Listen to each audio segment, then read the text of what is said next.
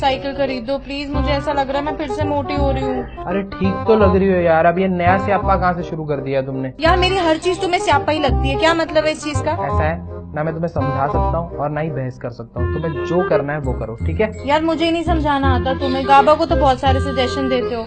मेरी बारे में हमेशा तुम्हें सांप सूंघ जाता है। अरे यार दोस्त है वो मेरा उससे मैं खुल के बात कर पाता हूँ तुमसे नहीं कर पाता अब क्या करूँ? क्यों नहीं कर पाते हो यार? मुझसे भी खुल के बात कर लो। अच्छा गाबा समझ के बात कर लो ना। ठीक है गाबा समझ के बात कर लूँ तुमसे? हाँ कर लो। झेल लोगी? तुम करो तो सही यार। ठीक है पर वो ऐसे नहीं बात करता। तो कैसे करता है? वो बोलता है भौंक जल्दी भौंक। अच्छा भौंक। ओह झोपड़ी के। साले अपने बाप को जाके बोलियो भौंकने के लिए समझा? वैसी कुप्पी ने दिमाग खराब कर रखा है। अब क्या किया उसने? पे नए नए तरीके ढूंढती रहती है यार मुझे टॉर्चर करने के लिए। अब ये नई नौटंकी शुरू हो गई। पूछती है baby am I looking fat अब बता क्या बोलूँ इसमें?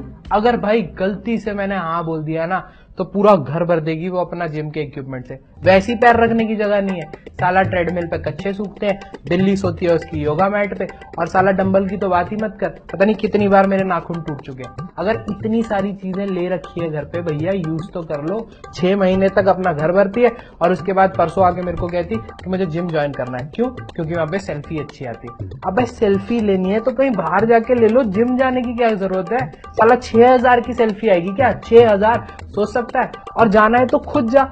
मेरी क्यों ज़िंदगी झंड कर रखी है? साला सुबह सुबह उठने को बोल रखा है मुझे। पहले मैं छह बजे उठ के उसको उठाऊं, फिर छह पंद्रह पे, फिर साढ़े छह बजे, फिर सात बजे। और फिर दस बजे मैं उससे पूछूँगा कि भैया, तुम जिम गए थे? नहीं जी, मैं जिम नहीं गई। अबे तो मैं पागल था क्या? मैं तो उठा ही रह गया ना।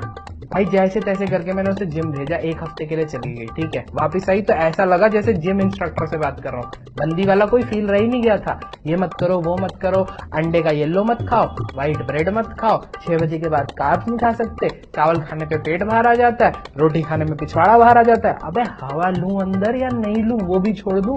दो हफ़्ते के अंदर एक किलो कम किया उसने, पूरे दो हफ़्ते के अंदर एक किलो। अबे इतना तो अगर मैं सूसू कर लू ना तो कम हो जाए मेरा वेट कौन सा बड़ा तुमने कद्दू पे तीर मार लिया यार? और भैया मुझे उस बंदे का नाम बता दे, जिसने एक ग्रीन टी इन्वेंट किया ग्रीन टी ना हो गई, संजीवनी बूटी हो गई। दो चुस्की मारते ही पेट अंदर हो जाएगा। कैसे होगा बताइए? और भैया, शीशे पे पेट को देख के ये बोलते रहोगे कि अंदर रहो अंदर रहो तो ये थोड़ी कि वो डर के रुक जाएगा मेरी तरह, वो तो आगे बढ़ेगा ही बढ़ेगा। प्रॉब्लम भाई मोटापे की नहीं है, प्रॉब्लम है एक्सेप्टेंस की। जब हमने तुम्हें कुछ बोला ही नहीं, तुम मोटी हो, पतली हो, जैसी मर्ज़ी हो, मैं तुझे एक्सेप्ट करने को तैयार हूँ तो प्रॉब्लम क्या है? भाई, तू उसको फ़ोन कर और उसको समझा, तू जो है, जैसी है, मोटी है, पतली है, जैसी मर्ज़ी है, मुझे कोई प्रॉब्लम नहीं है। मुझसे बस रोज रोज ये मत पूछा कर कि मैं मोटी हो रही हूँ, मैं मोटी हो रही हूँ, मैं मोटी हो रही हूँ। मैं नहीं जवाब दे सकता और ना मैं देने वाला हूँ। उसको फ़ोन कर और समझा दे। आज के बाद अगर उसने मेरे से फ़ोन करके पूछा ना तो भाई फ़ोन में घुस के ऐसा मुक्का मारूँगा ना, सारे दांत टूट जाएँगे। दिमाग खराब कर रखा है। फ़ोन रख दे तू भी अब। तो बस ऐसे ही बात करता मैं गाबा से। तुम ठीक हो ना? हाँ मैं ठीक हूँ। चलो ठीक है फिर मैं बाद में बात करता हूँ तुम जिम चले जाना ठीक है? ओके ठीक है जा रही हूँ मैं। Okay bye okay bye